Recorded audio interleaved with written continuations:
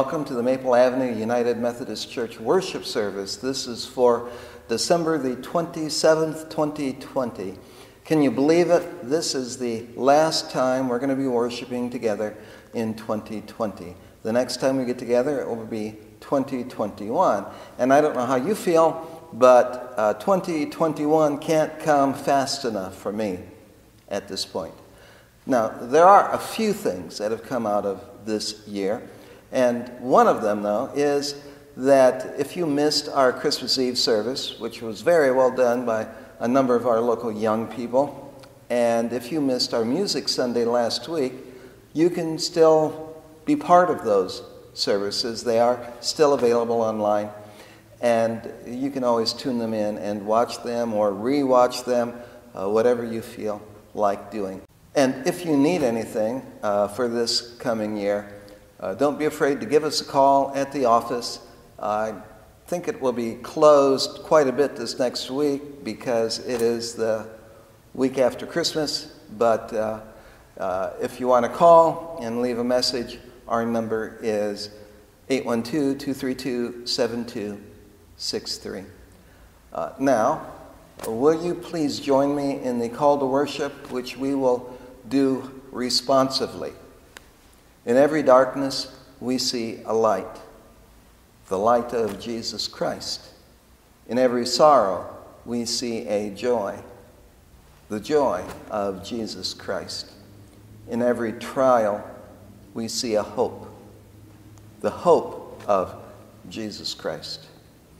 Oh God, help us to rediscover the light, the joy, and the hope of Christmas in Jesus Christ our Lord. Amen.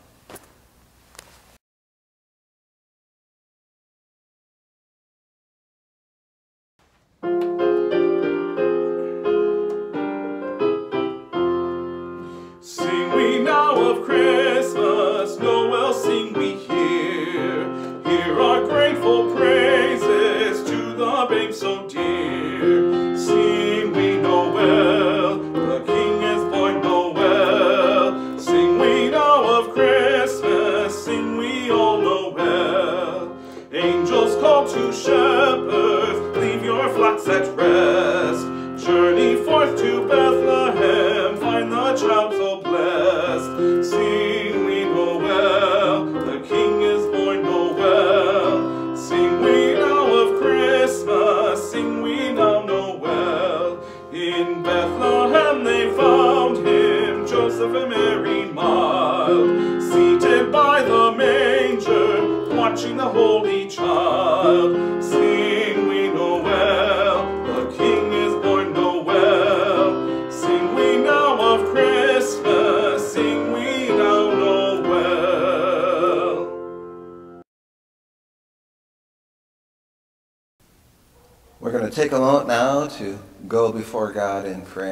placing our prayer list on the altar table.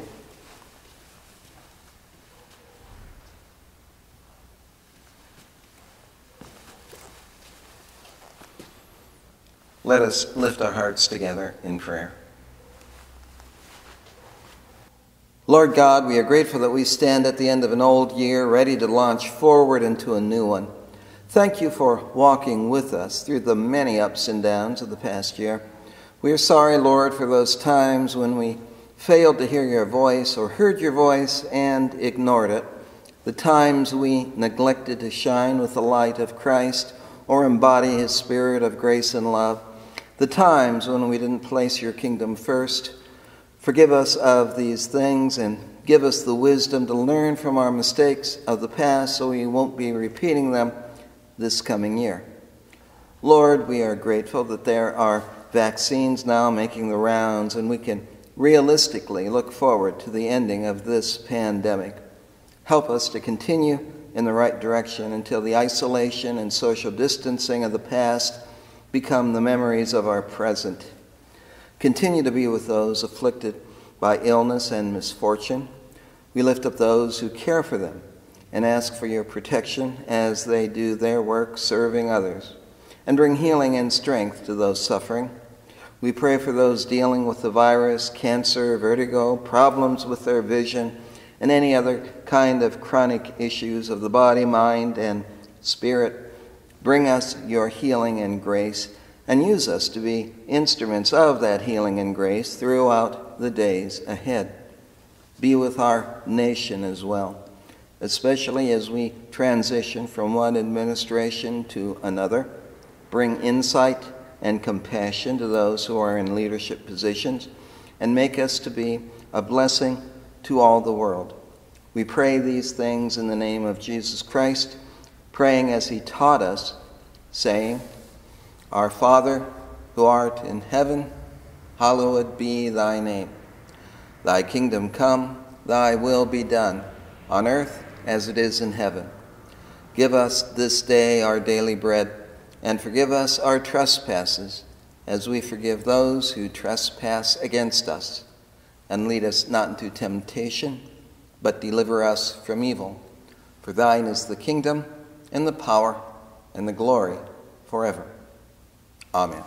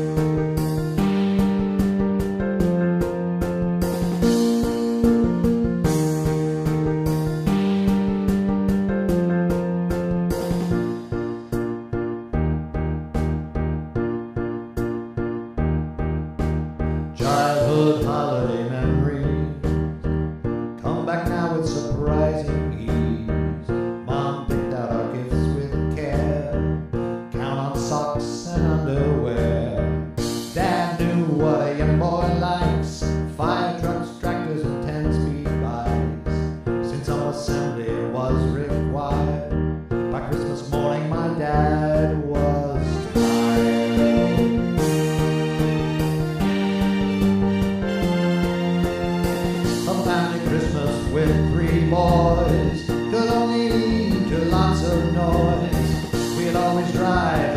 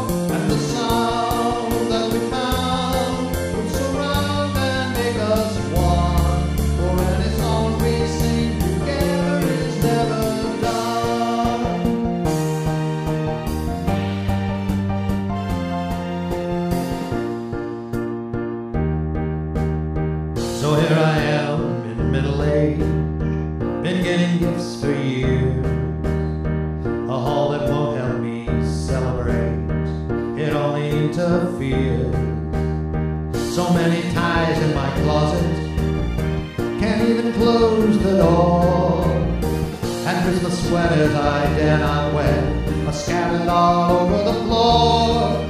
My house is packed with too much stuff. It exceeds my needs. I've had enough. I'm tired of breathing. What I'm searching for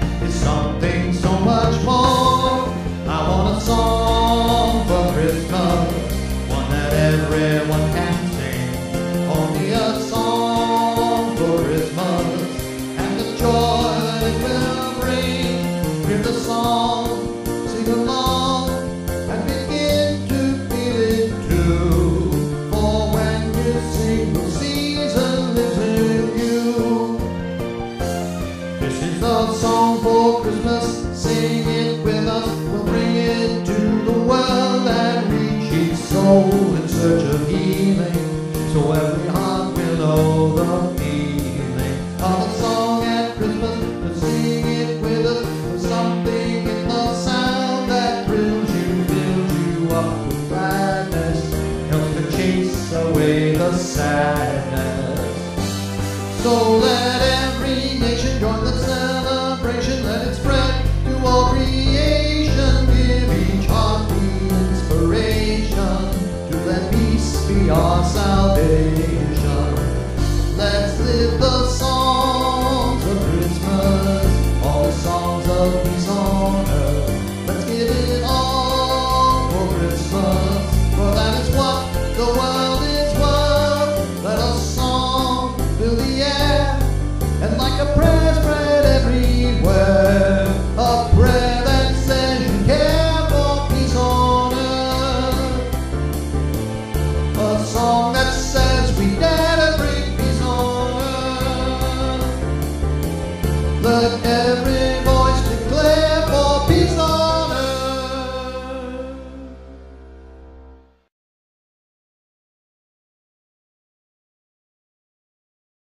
Our scripture reading for today comes from Galatians chapter 3, verse 23 to 26, and then 4 verses 4 to 7.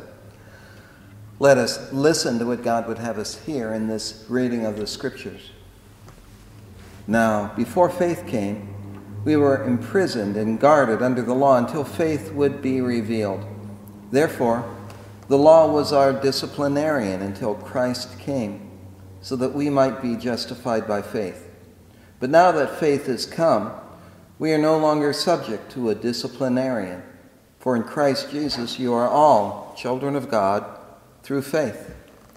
But when the fullness of time had come, God sent his Son, born of a woman, born under the law, in order to redeem those who were under the law, so that we might receive adoption as children. And because you are children, God has sent the Spirit of His Son into our hearts, crying, Abba, Father. So you are no longer a slave, but a child. And if a child, then also an heir through God. Christ is among us in the reading of these scriptures. Thanks be to God. Amen.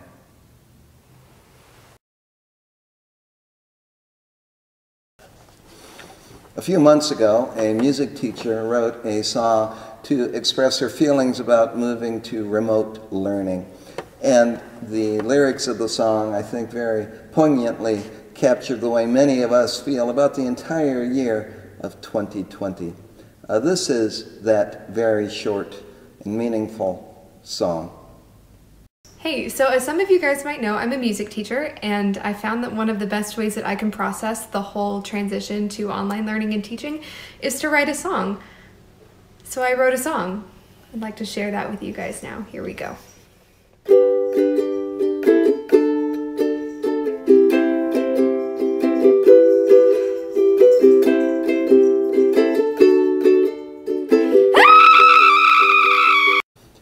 See, what did I tell you? Isn't that the way many of us feel about the entire year? That's now behind us. But as bad as 2020 has been, it's not as bad as the world was for the people of Israel 2,000 years ago. They were living under Roman oppression. They were devastated and depressed and demoralized, and life for them was pretty bad. And to these hurting people living in darkness, God sent help. Help for them, help for all people who are struggling in a difficult situation. And that help was Jesus Christ. So, how is it that Jesus Christ helps them and helps us in these difficult times? Well, first of all, Paul says in Galatians that Jesus changes the way that we relate to God. We no longer relate to God as servants or slaves, but we're adopted into God's family. We relate to God as offspring. Paul says, Now that faith has come, we are no longer subject to a disciplinarian, for in Christ Jesus you are all children of God through faith. In other words, we relate to God not by fear and intimidation, but we relate to God through trust and love. And that simple difference in our relationship to God makes a big difference in our lives. We are deeply and dearly loved by God, so much so that Paul says we cry out to God, Abba, Father. And Abba didn't simply mean father, it was a term of endearment, of intimacy, one that a child might call his father uh, lovingly. We have that kind of an endearing, loving, intimate relationship with God. We always have that love there for us. During World War II, there were four soldiers that had a little bit of time uh, off that they were given, and they headed to a French village that was nearby. And as they were entering the village, they realized that it was Christmas Eve. And they wanted to do something special on Christmas Eve. And they passed an orphanage, and one of them said, Hey, why don't we buy a bunch of presents and candy and clothes and all kinds of cool stuff and take it to the orphanage and give it to the kids there on Christmas Day. And they thought it was a marvelous idea. And so they went into the town and they pooled their money and they bought all of these toys and clothes and candy and cool stuff that the kids they thought would really like. And then the next day they knocked on the door of the orphanage and explained that they had gifts for all of the children there. And the managers of the orphanage were, of course, very pleased, and the children were thrilled. And the soldiers came in and began dispersing their presents to all the kids. And most of them really seemed to be happy and enjoying the whole thing, but there was one little girl, maybe six or seven years old, standing off in a corner who wasn't participating and didn't seem happy at all. And they asked the uh, managers of the orphanage about her, and they said, uh, Well, she just arrived about a week ago. Her parents died tragically in a car accident. Uh, she's just getting used to being here. So one of the soldiers went over to her and said, uh, Honey, dear, we've got all kinds of really neat presents. Why don't you come over and let us give you something? Pick something out, whatever it is you want. Why don't you come over and get something? And she didn't move. And he said, Well, what do you really want for Christmas? And the little girl said very simply, I want somebody to hold me. Isn't that what all of us really want in the end? We don't want lots and lots of stuff. What we really want, what we really need, is somebody to hold us, somebody to love us, somebody to care for us, no matter what, and through no matter what. That's the gift that God gives to us through Jesus Christ an unconditional love that is always there for us. We are not slaves, we are offspring, not servants. We are children of God, adopted by God, into God's very family, dear to God. Jesus changes the way we relate to God, and that, that in turn changes us, gives us a source of power and strength that we didn't have before. Uh, and because you are children of God, Paul writes, he sent the Spirit of his Son into our hearts, crying, Abba, Father. Because we are children of God, God has sent the Spirit of Jesus into our hearts. We have that resource that we didn't have before. Our change and our relationship to God really changes us in the end. Margaret uh, Blair writes in Reader's Digest a few years ago about how uh, when they were living in Massachusetts, they were hit by the winds of a hurricane. And her young son Blair was, of course, frightened by the wind, noise outside. And it kept getting worse and worse, and Blair was getting very nervous. And then finally, all of the power went out. And they found themselves sitting in total darkness. And she could hear her son Blair sobbing in the distance. And so she called out to him, You might just as well calm down. After all, there's nothing we can do about it. And Blair wisely said, Mother, I know there's nothing we can do about it, but isn't there something we can do about us? And that's the bottom line. Oftentimes, when we find ourselves in difficult situations, there's nothing we can really do about the situation, but there's plenty we can do about ourselves. And by changing ourselves, we change everything. And if you think about it, isn't that the theme to so many of the Christmas movie classics that we like to watch around this time of year? Look at uh, Charles Dickens' The Christmas Carol. Uh, in it, Ebenezer, Ebenezer Scrooge's world doesn't change at all, really, but he changes on Christmas Eve.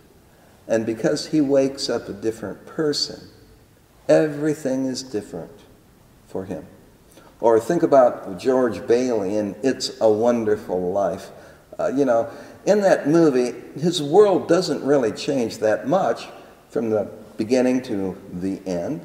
Uh, but the thing that does change is he himself.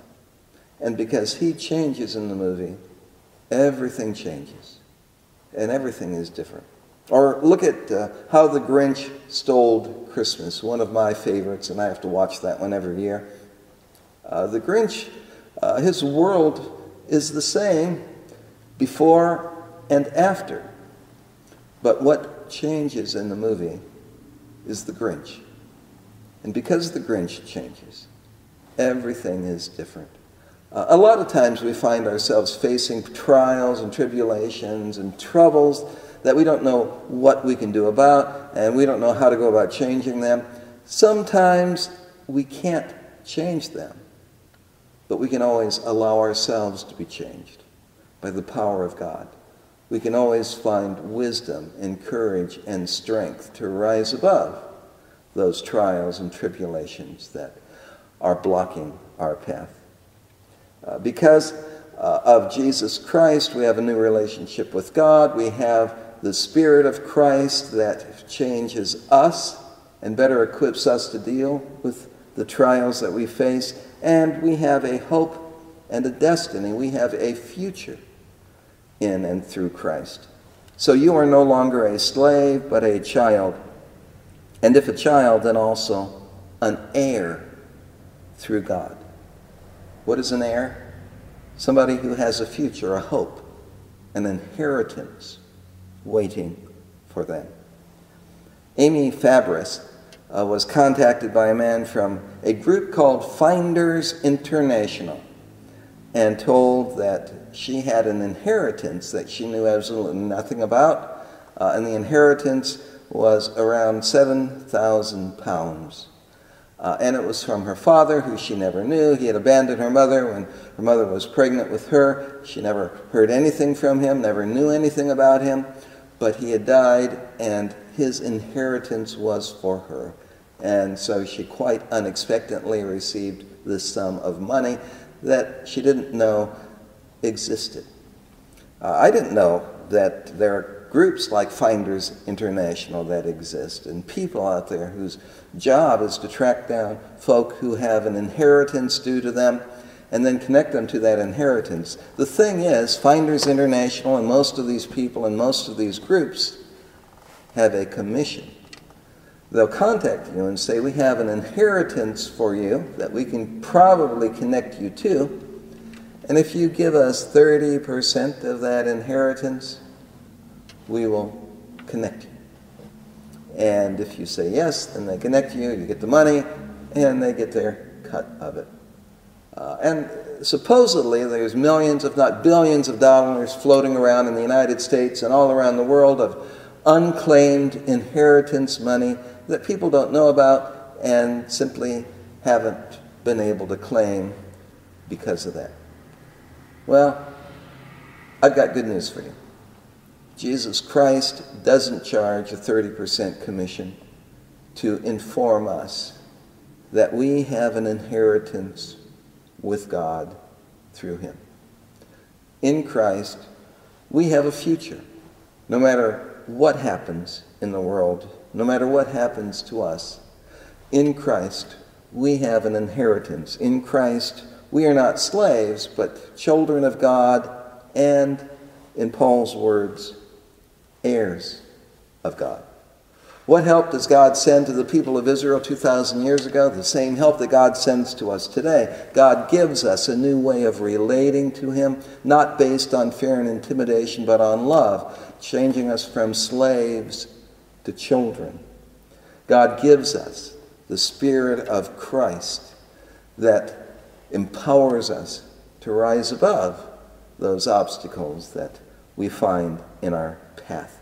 And God gives us a future in and through Christ, an inheritance that is always there and is waiting for us whether or not we believe it or even embrace it. We always have, through faith, the love and the hope of God.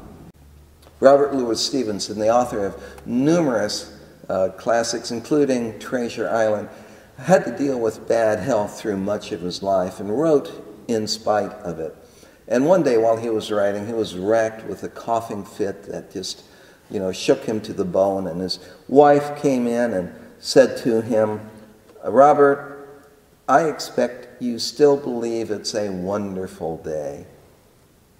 And Stevenson smiled back at her. And noticing the rays of sunshine bouncing off of his bedroom walls, sunlight that uh, was shining through all the medicine bottles that lined his window, Stevenson said, I do believe it's a wonderful day. I will never allow a row of medicine bottles to block my horizon whatever bottles are blocking your horizon. May God's gift to us of Jesus Christ shine through them today, giving us faith, giving us love, and giving us hope for our future. In Christ's name, Amen.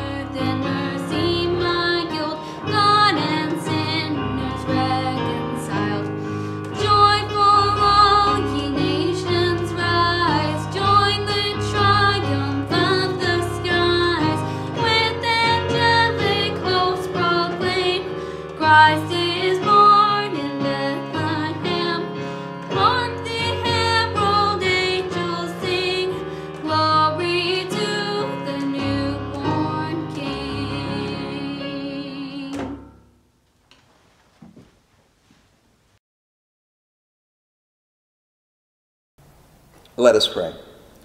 Oh God, we are grateful that in the midst of our trials and tribulations, you have not abandoned us, but chosen to walk with us and to share our struggles through Jesus Christ.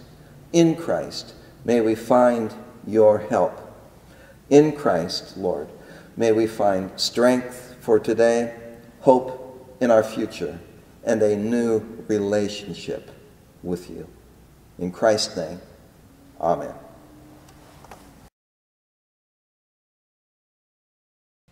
Música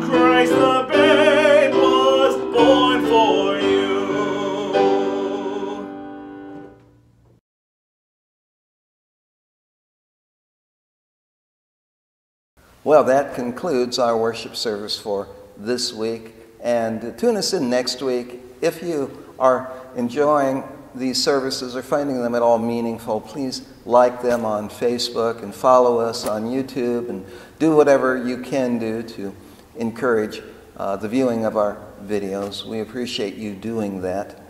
And now, may the grace of the Lord Jesus Christ, the love of God, and the fellowship of the Holy Spirit be with you forever.